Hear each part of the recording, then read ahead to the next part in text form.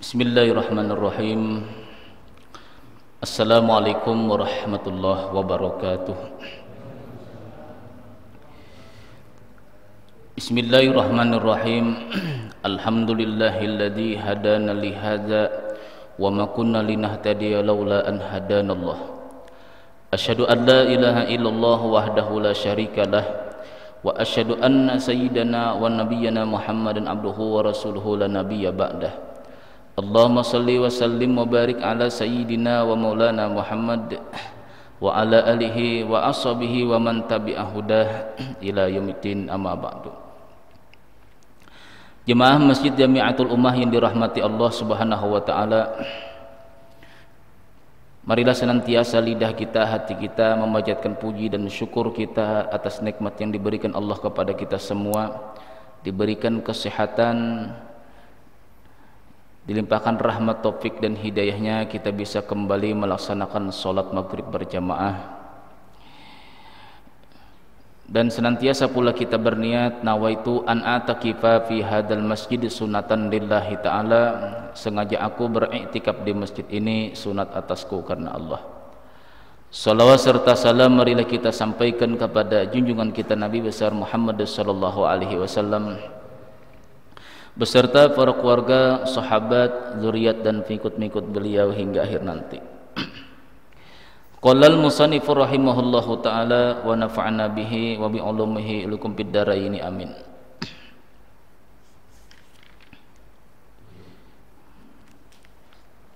Salisan perkara yang ketiga perkara takziah inilah kemarin.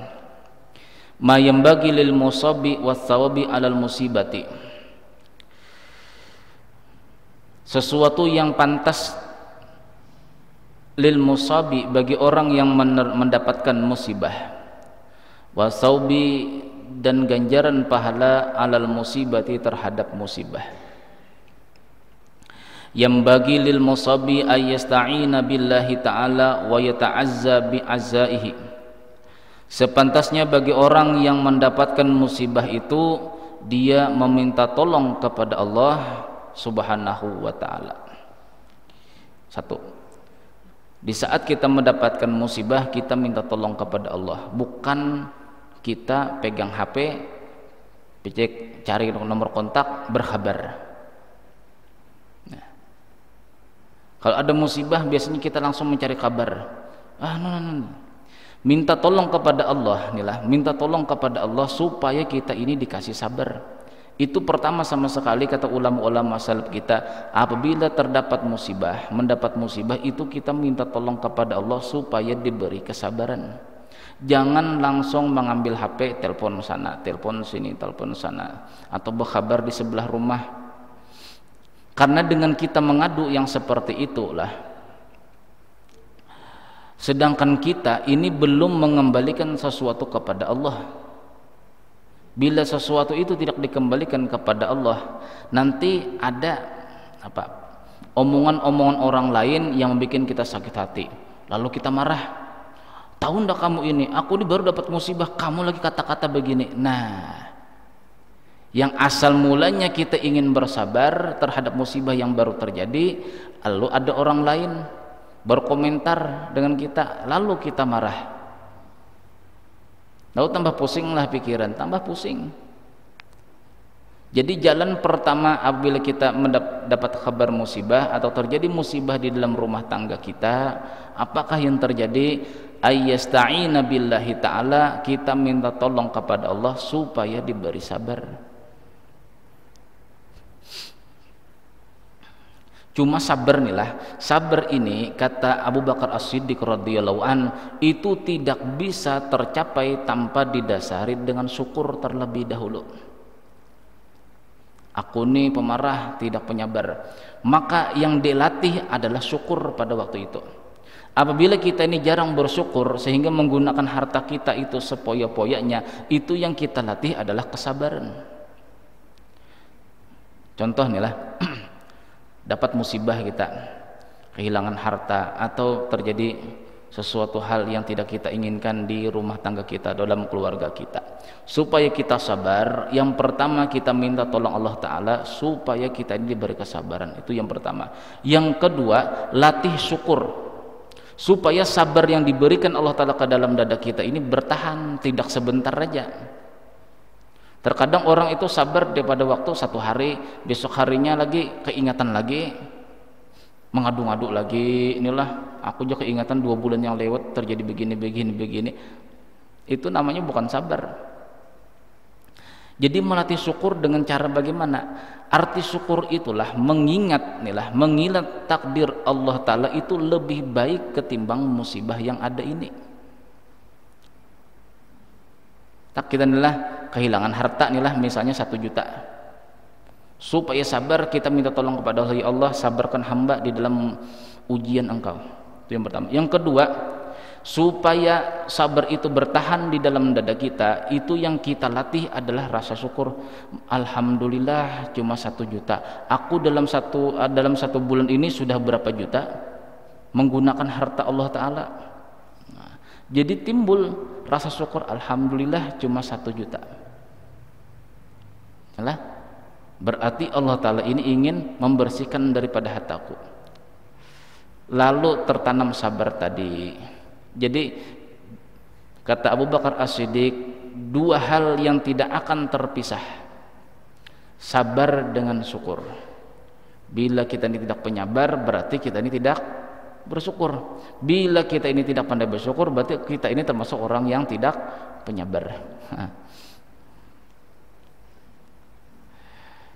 Nah, itu satu tadilah kata ulama salaf kita di sini yang bagi lil musabbi ayyasta'ina billahi ta'ala sepantasnya orang yang baru mendapatkan musibah itu minta pertolongan kepada Allah supaya diberi kesabaran lalu dilatih sabar tadi supaya bertahan di dalam dada kita sampai beberapa hari kalau bisa sampai seumur hidup kita jangan jangan teringat lagi nih terhadap musibah yang terjadi. Kalau bisa yaitu dengan cara mengingat-ingat. Syukur. Bersyukur terhadap nikmat yang Allah telah berikan ketimbang yang sudah hilang. Nah, kemudian wa yata'azza bi kemudian dia merasa gembira dengan datangnya orang-orang yang menghiburnya, artinya orang pentakziah tadi.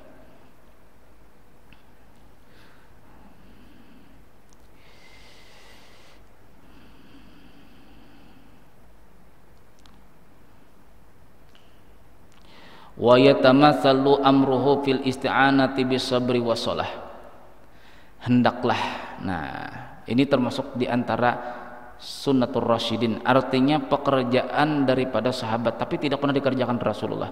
Tapi bolehkah kita kerjakan? Boleh.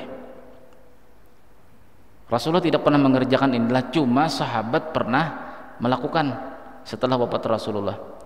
Wa yatamassalu amruhu fil isti'anati maka senantiasalah perkaranya itu terbayang-bayang pil isti'anati dengan minta pertolongan bisabri dengan sabar wassolati dan solat artinya supaya sabar ini masih terbayang-bayang. Kita bila kita di apa hampir saja emosi inilah terhadap orang-orang yang mengolok kita kita ini baru dapat musibah. Supaya selalu terbayang-bayang sabar tadi maka kita landasi dengan bisabri wasolah dengan sifat sabar dan solat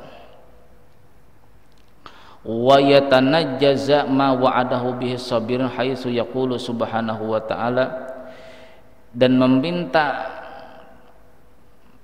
ditunaikan sesuatu yang telah Allah janjikan kepada orang sabar sebagaimana firman-Nya wa basyiris sabirin alladzina idza asabathum musibah qalu inna lillahi wa inna ilaihi rajiun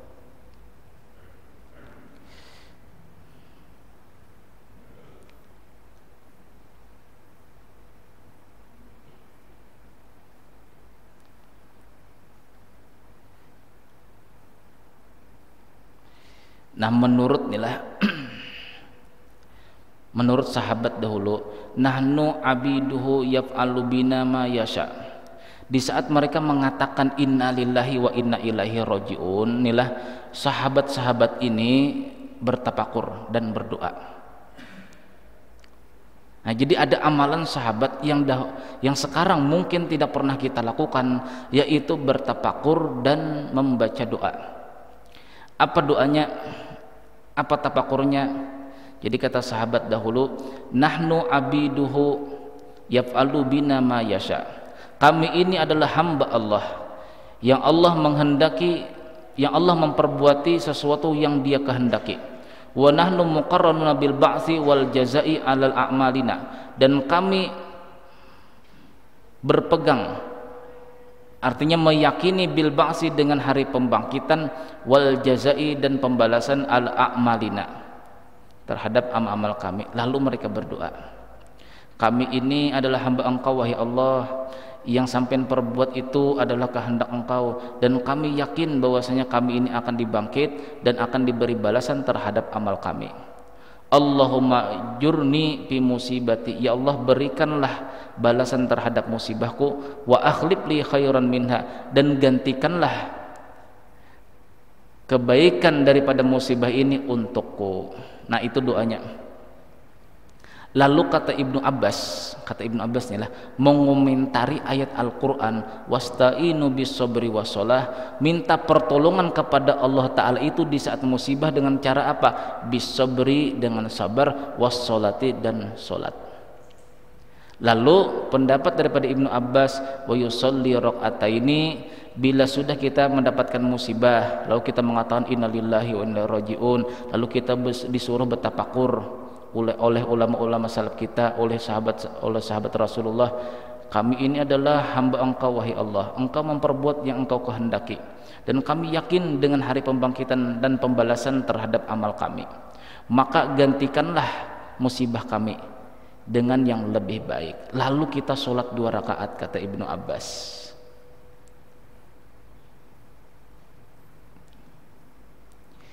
Wa kana Hudzaifah yaqulu adalah Hudzaifah ini sahabat Rasulullah mengatakan kana Nabi sallallahu alaihi wasallam idza jazabihi amrun sabar. Apabila terjadi kepada Nabi sallallahu alaihi suatu musibah suatu perkara sabar Nabi sabar. Jadi ada di antara amalan sahabat yaitu setelah mendapatkan musibah mengatakan innalillah bertapakur lalu berdoa dan melaksanakan sholat. Kira-kira tuh jaraknya jaraknya adalah setelah mendapatkan musibah itu sampai selesai melaksanakan sholat itu sekitar misalnya 10 menit. Jangankan 10 menit setengah menit setelah mendapatkan musibah langsung mengadu-ngadu ke, ke tetangga sebelah langsung mengadu-ngadu lewat telepon. Nah itu kebiasaan kita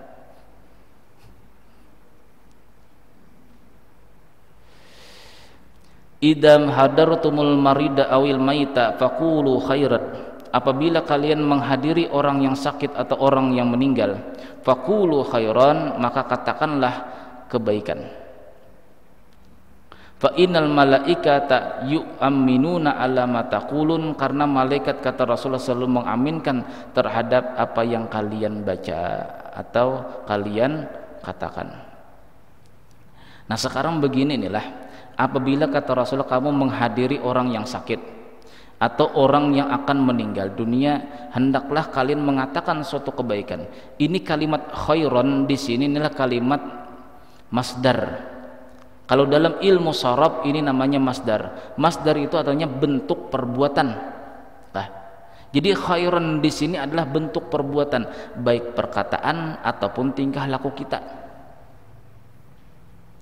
dan yang kedua, masdar ini tidak pakai alif lam, artinya umum. Apa pun pekerjaan kebaikan bila kita datang ke tempat orang yang meninggal dunia, pekerjaan kebaikan apa jua pun itu disuruh. Ada orang meninggal dunia, kita ambil Yasin. Ada orang meninggal dunia, kita ambil Quran. Itu dalil secara umum. Lalu kita doakan Nah, lalu kata Rasulullah, sesungguhnya malaikat akan mengaminkan sesuatu yang kalian bacakan tadi. Ini di antara dalil kita itu berhadiah pahala kepada orang-orang yang meninggal dunia. hadis sahih kan kalimatnya umum nih khairan kebaikan wa yusannu lil musabi ay yasbira was sabru wal habasu qala Allah ta'ala wasbiru innallaha ma'as sabirin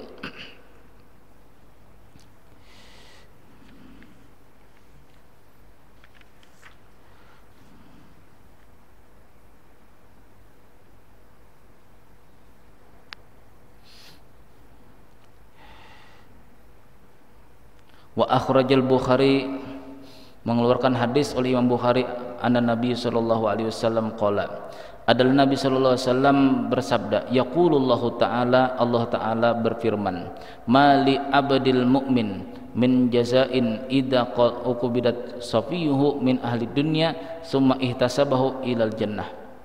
Tiada bagi seorang hamba yang beriman kata Rasulullah daripada mendapatkan musibah apabila dicabut nyawanya, dicabut rohnya, kekasihnya daripada ahli dunia daripada keluarganya yang di dunia. Summa ihtasabahu kemudian dia sabar ilal jannata maka dia akan mendapatkan surga. Kalau sabar tadilah kalau kalau sabar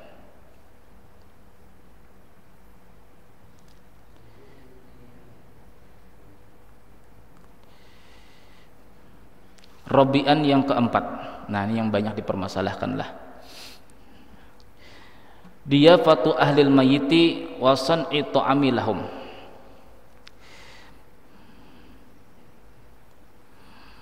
bertamu kepada keluarga si mayat. Kemudian mengasihkan makanan kepada mereka. Yustahabu lil aqrabil mayiti wa jiranihi ayasna'u ta'aman di ahlil mayit dianjurkan bagi keluarga dekat si mayat dan tetangga-tetangganya ayasna'u melakukan menyiapkan to'aman makanan-makanan li ahlil mayiti bagi keluarga si mayat. Lima ruya karena ada hadis Nabi wasallam lima kutila Ja'far bin Abi Thalib karena pernah meninggal Ja'far bin Abi Thalib karamallahu wajhah. Ini saudaranya saudaranya Sayyidina Ali jadi suatu ketika inilah Ja'far Ja'far ini dengan Sayyidina Ali kan bersaudara inilah bersaudara. Jadi suatu ketika Ja'far dengan Sayyidina Ali ini apa ada cekcok lah. Biasa aja nih kita inilah ada cekcok sedikit. Lalu Rasulullah SAW mendatangi, mendatangi. Wahai Ja'far, coba ke sini sebentar kamu ini mirip dengan aku begini begini begini wahai Ali kamu itu mirip dengan aku begini begini begini. Nah setelah mendengar pujian Rasulullah kepada Ja'far kepada Sayyidina Ali Ja'far ini merasa gembira dipuji Rasulullah. Karena setiap apa-apa yang dikatakan oleh Rasulullah itu berarti daripada Allah. Wa ma yantiqu anil hawa in huwa illa wahyu yuha. Jadi karena merasa gembira ini dipuji Rasulullah inilah kamu itu wahai Ja'far mirip denganku begini-begini Wahai Ali kamu itu mirip aku dengan begini-begini. Lalu terjadilah tarian-tarian seperti tarian-tarian Arab. Rasulullah diamlah Rasulullah diam. Berarti membolehkan tarian-tarian Arab. Makanya orang-orang Arab itu kan bila ada acara apa acara salawat kan, kan ada tarian Arab. Nah, coba sampai nana ada gembus-gembusnya tuh nah.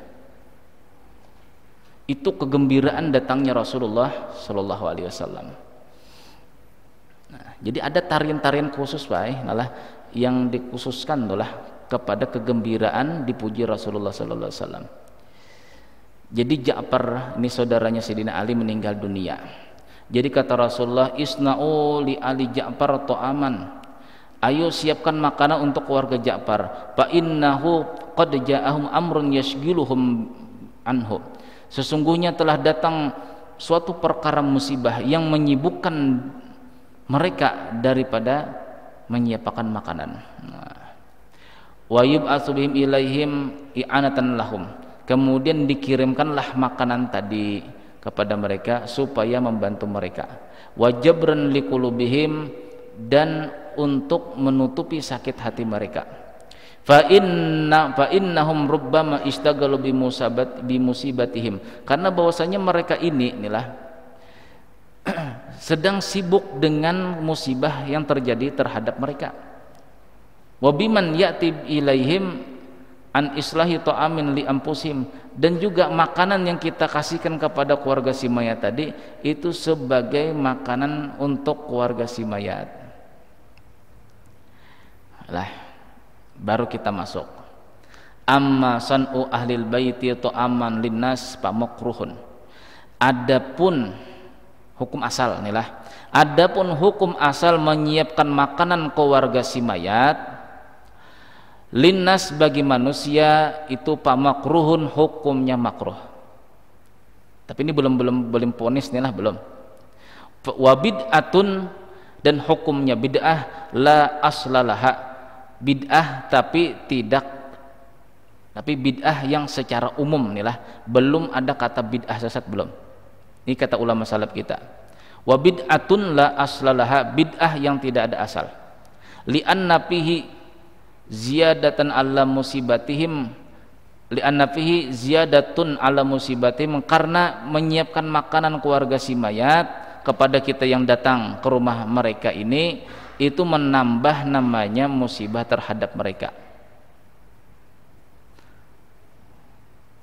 dan watasyabuhan bisan'i ahli jahiliyah ini menyerupai dari pekerjaan orang-orang jahiliyah dahulu. Wa in kana warisati qasirun dunal buluk. Fayuhramu i'da'u ta'ami wa taqdimihi. Maka haramlah menyiapkan makanan wa taqdimihi dan menyerahkan makanan tersebut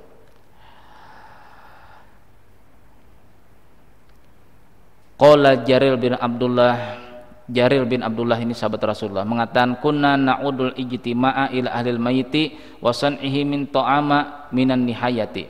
Kami menghitung arti menghitung di sini memponis bahwasanya berkumpulnya kita terhadap keluarga si mayat dan menyiapkan mereka makanan untuk kita yang datang minan nihayati itu termasuk daripada apanya apa kemarin tuh?